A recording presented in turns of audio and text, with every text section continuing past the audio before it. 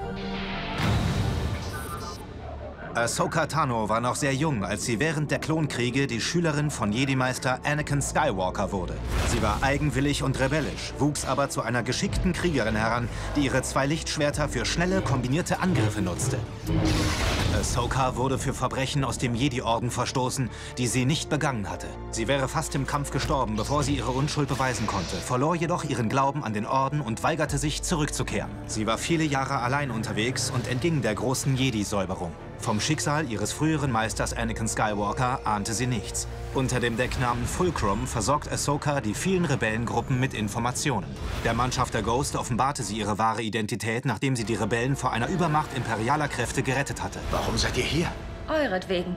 Und wegen eures Schülers. Viele in diesem System haben eure Botschaft gehört. Ihr habt ihnen Hoffnung gegeben in dunklen Zeiten. Wir wollten nicht, dass diese Hoffnung stirbt.